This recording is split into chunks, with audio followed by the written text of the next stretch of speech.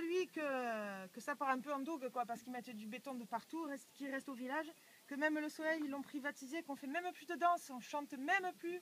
Alors franchement, voilà, enfin c'est la chanson un peu. Hein. Mais voilà qu'il faut qu'on... Bah déjà ça, chanter et danser, qui peut nous en empêcher, quoi.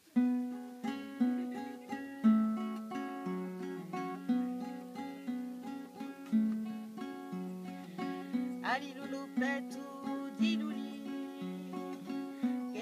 Tambalan ponesa che lu trambalan E co porte live non mai de porche de can E cacchi de vieillu se na campa tu plein Ali loulou petou di louli Che lu tambalan ponesa che lu trambalan E co porte de Pardon, che li gente donde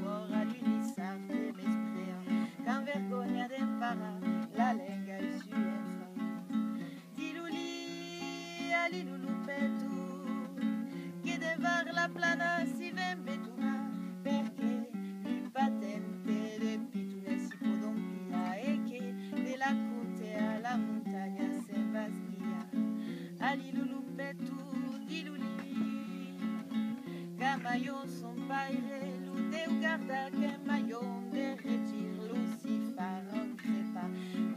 que de di kuburda anisa la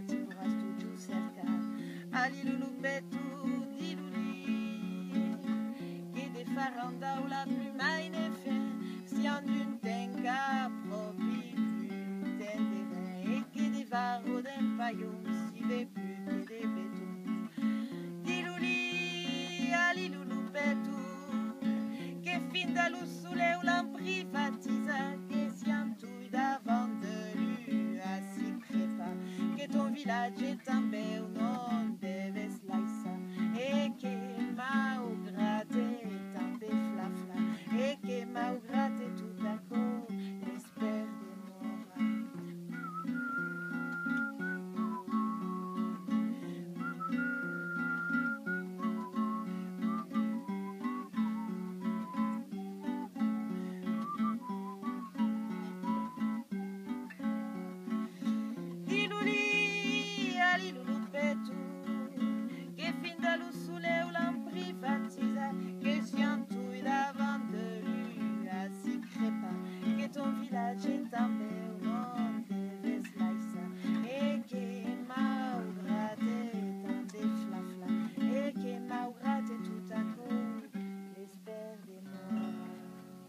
l'espère des moires